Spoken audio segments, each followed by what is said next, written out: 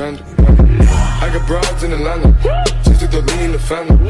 Credit cards and the scammers, hitting the licks in the band.